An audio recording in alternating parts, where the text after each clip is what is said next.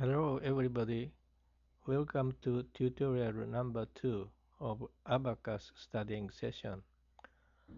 Today's subject is handling overflow values. First exercise is 174 divided by 6. Click Start.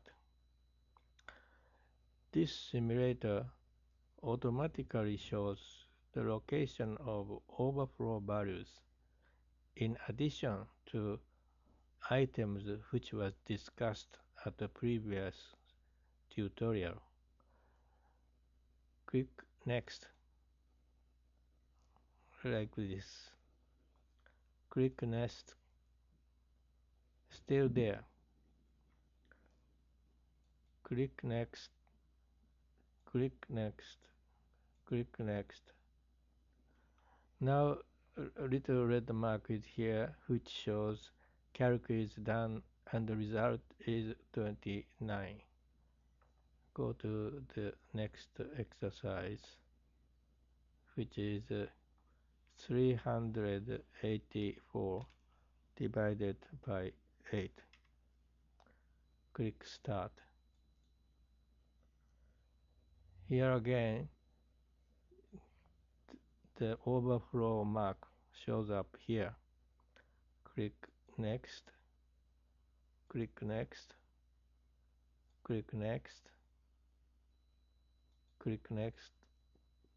Click Next. Click Next. Now little red mark is here, which means calc is done and the result is 48. Now I'll show you those calculations using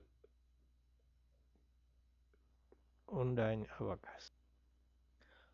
First exercise is 174 divided by 6. Calc digit number is 1 or 1 over 6. Division key is 4. 4 supposed to be added to this digit, but only 2 can be added. The rest of them is stored at the rightmost digit. The calc digit number is 9 or 9 over 6.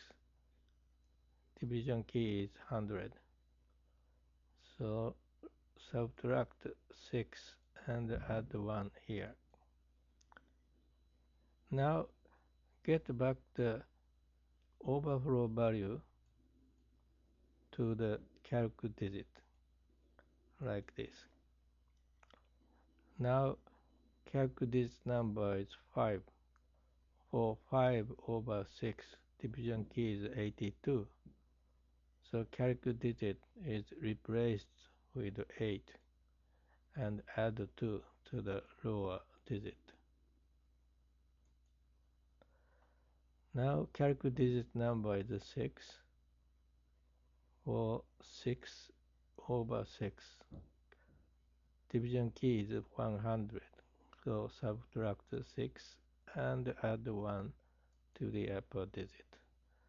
Now calc is done and the result is 29.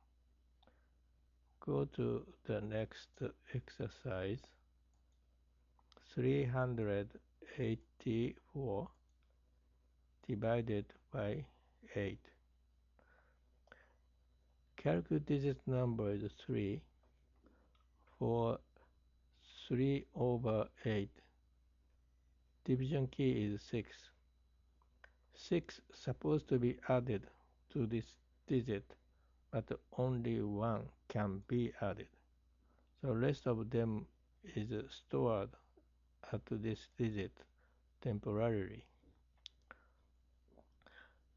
Now calc digit is 9, so for 9 over 8, division key is 100 so subtract 8 and add 1 to the upper digit. Now get back the overflow value to the calc digit like this. Then calc digit number is 6. For 6 over 8, division key is 74. So calc digit is replaced with 7 and add 4 to the lower digit. Now calc digit number is 8. For 8 over 8, division key is 100. So subtract 8 and add 1 to the upper digit. Now calc is done and the result is 48. Thank you for watching.